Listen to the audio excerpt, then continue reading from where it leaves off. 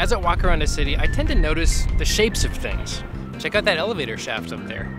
Triangles that are stiffening the structure around it. That walkway down there has triangles all over it, as does the dock right underneath, actually. And of course, huge triangles made out of rope in tension supporting the masts of that tall ship. Why do all these structures use triangles? It's because triangles support, stabilize, and stiffen the structures.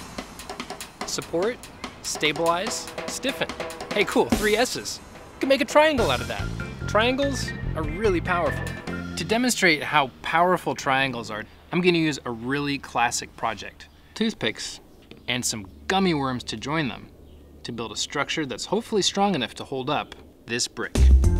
I'm gonna use scissors to chop the gummy worms into little gummy connectors. So I have now very nice little cube. I'm gonna let it go in three, two, one. Oh. One of the big challenges we're running into with this particular design is that it's all built out of parallelograms. A parallelogram is a shape with opposite sides that are parallel and equal in length. And you can see when we stick the brick on top of this structure, the connectors aren't that strong. So instead of staying up, the whole thing just flattens. Instead, let's try building a structure based on a triangle. As I apply force to the triangle, you can see that it has a lot of stiffness.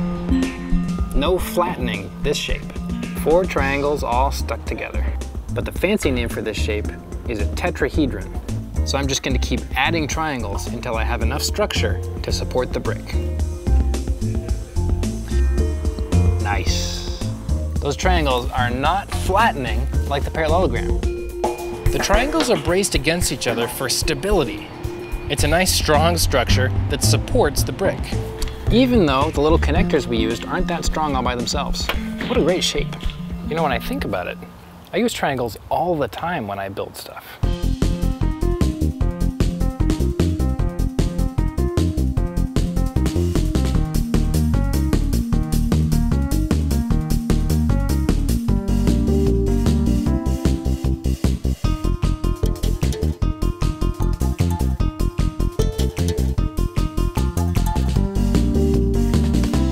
Next material I'm gonna work with is some aluminum cans. The cans are strong in compression, which means they can hold weight when they're pushed on the top and the bottom. To show how strong they can be, I'm gonna stand on one.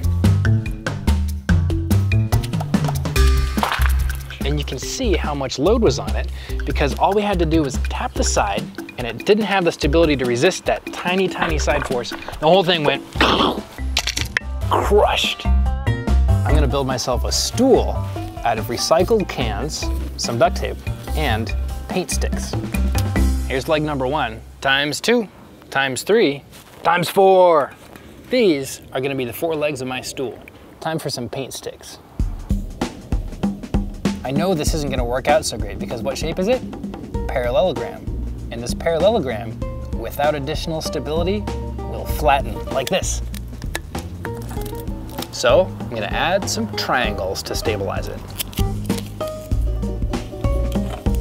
Check it out. A triangle here and another triangle here. Let's see if this thing still acts like a parallelogram or not. No, it's actually a lot stiffer. Now I guess all I need is something to sit on top of.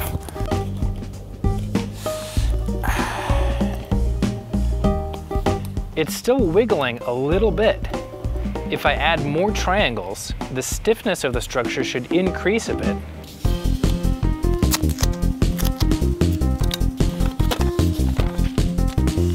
Yeah, that's actually a lot more stable. These triangles in this structure are giving me those three S's. Stability, stiffness, and support.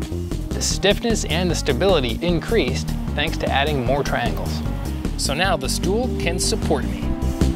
Anytime I'm looking to support, stabilize, or stiffen something I'm making, I'm gonna add a triangle.